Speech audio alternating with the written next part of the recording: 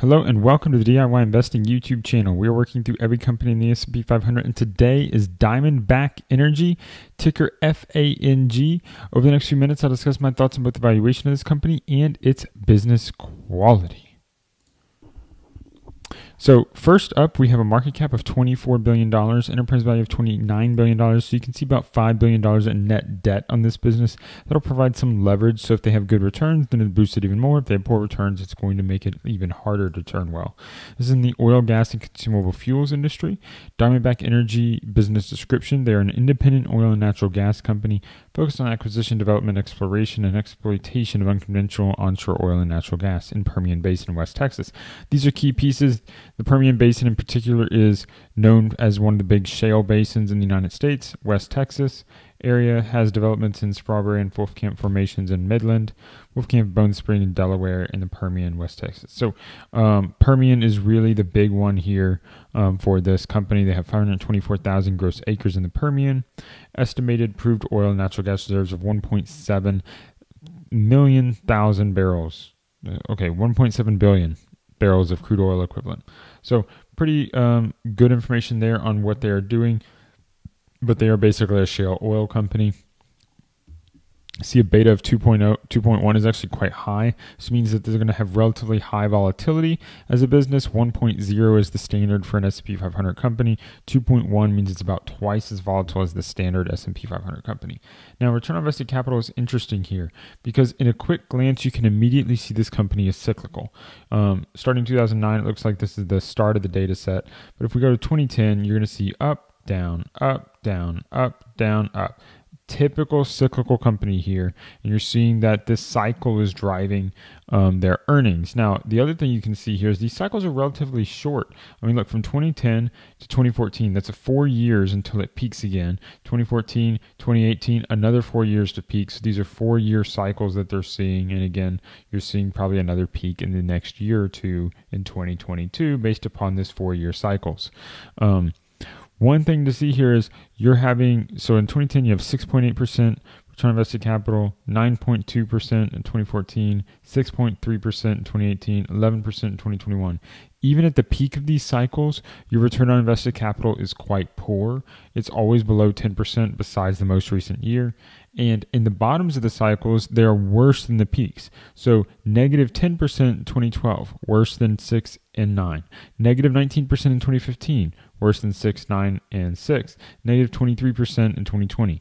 Not only are these worse than the peaks, but they are significant. They're also getting worse overall. So over the last decade, you've had one, two, three, four, five years of losses, five years of profit, six years of profits over the last 12 years. So you're almost losing money about half the time. And when you lose money, you're losing more money than you're making. So this is actually a really poor result in terms of the business quality. Very unpredictable, and the losses are quite bad.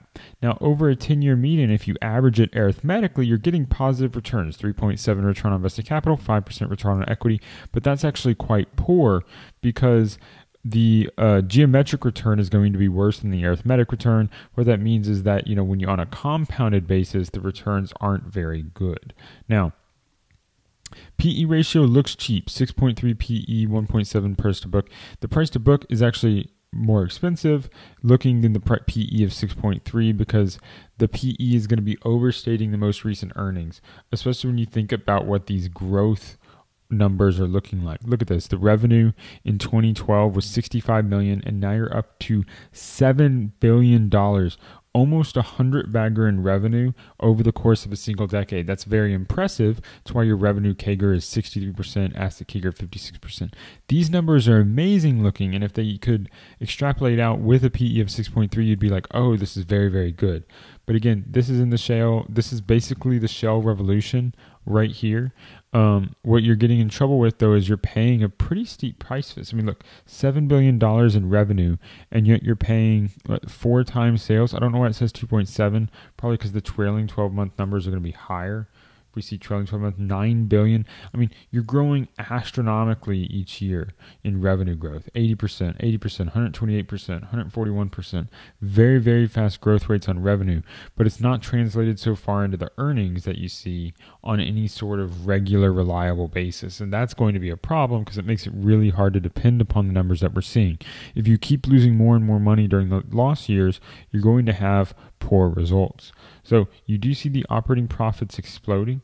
You're up to $4 billion in operating profit in that 2021 year, which looks pretty good. I mean, you're six times that operating profit number. Okay. But how reliable is it? Operating margins are all over the place 23%, 45%, 42%, 16, 33, 50, 48. Again, it's a commodity business. They're selling a commodity. They have zero control over the prices. The only thing they have control over are their costs. But even on a gross margin basis, again, all over the place 37, 51, 47, 24, 41. They can't control this. And that price of the commodity, natural gas and oil, is driving these results. And it make, just makes it completely unpredictable. If you buy this stock, you could do very, very well. Anytime you have growth rates like this, you could do extremely well. You could also do extremely poorly because it makes it very hard to predict. So, big concern here. This is clearly a below average company.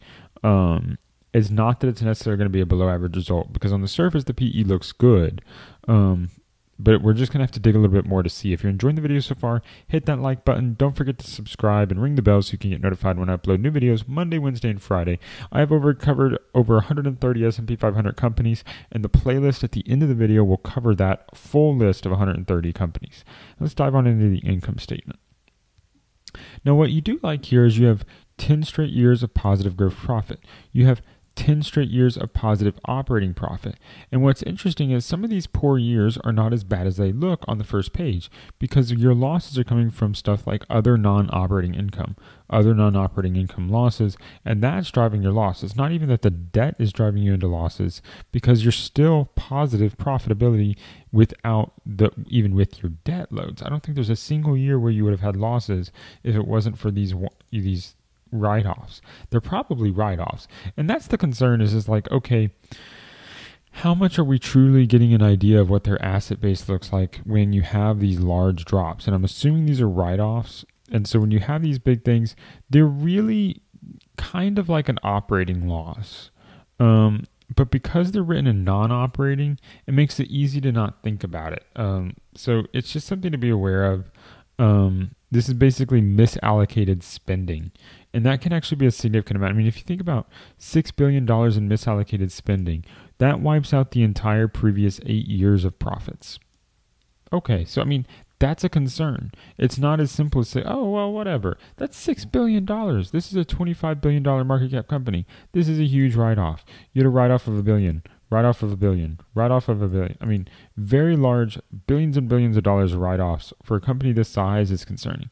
Also, They've been growing like gangbusters, but you have to look. They had 37 million shares outstanding to begin the decade. They end it at 177.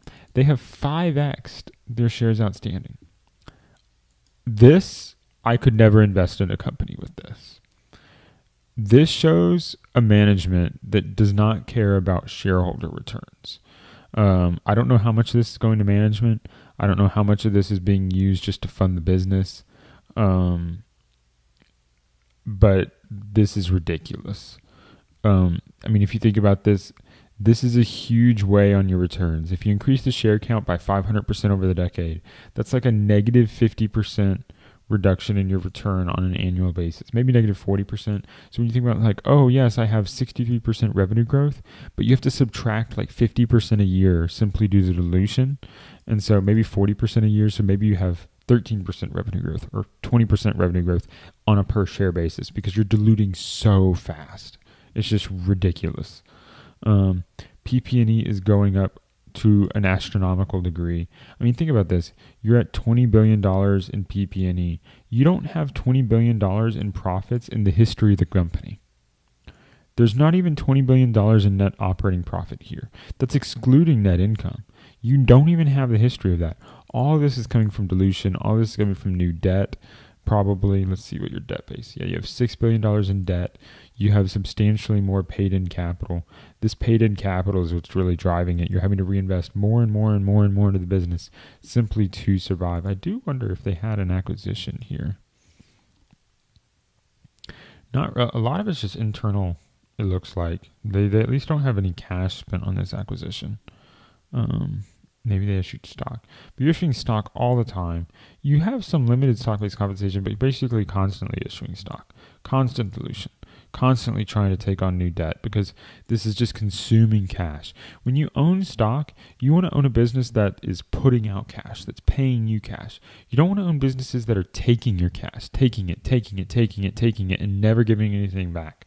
And maybe this company will give back in the future. The problem is with shale is it has short very fast decline rates, and so it's going to constantly be taking in cash. So if it's not putting out cash today at a $7 billion, $9 billion revenue rate, when is it going to happen?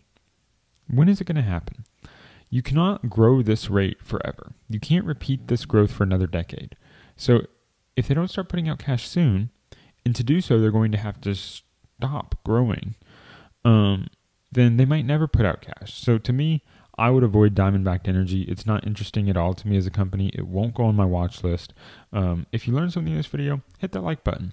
If you disagree with me or you didn't learn something from this video, let me know in the comments below. I want to hear your thoughts.